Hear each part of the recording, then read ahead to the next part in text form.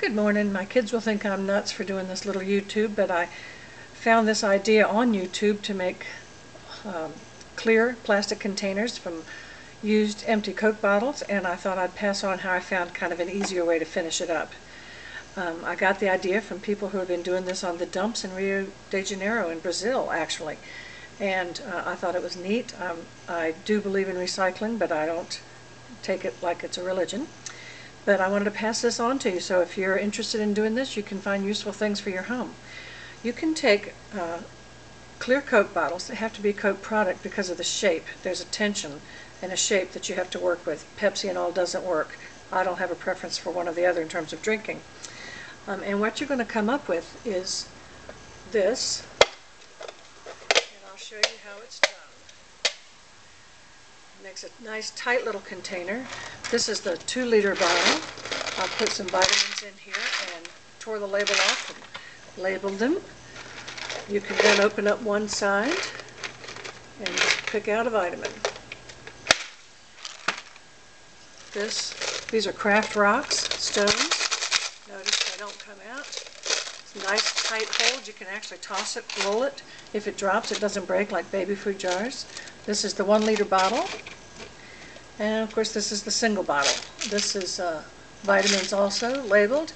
And the same thing, you can just pour out or put in Tylenol, whatever. Now, these are not uh, waterproof, they're not humidity proof, and they're not little bug proof. However, if you're like me and you have uh, items in your garage uh, as a pantry, I put in things in these like uh, bags of beans, and it keeps mice out of them things that are little that are bagged up. I keep them in the bag and then put them in here, and then mice don't gnaw on them. Um, you can also take part of the bottle and make a little uh, riser. So if you're putting them on shelves, you can have some at low at a low height, and then these are a little higher, so you can look in and see what you've got. The clearness of these bottles and the way they last and don't break makes them really ideal. So this is how you do it in a nutshell. It's not hard you take your bottle. You cut it in two beneath the label. Then you take a rubber band, and this is what I've not seen anybody else figure out, and I think I, this is why I'm doing this to pass this on. You take a rubber band and you put it evenly at the waist of this bottle, and you'll see what I mean by the waist. It goes in a little bit. At the waist is where you cut there are uh, indentations. You cut every other one so that there are five of them down to the waist. Very simple. When you've cut all five of them, try it out first. Then you'll see, when you see that it works, because sometimes one might be just the tiniest bit off and you have to readjust it. Fold it up Occasionally they're a little bit off, so you just take your fingers, it just sort of finishes it off. Um, and so you have bottles like that. You can, some people, you could store um, delicate Christmas ornaments one at a time.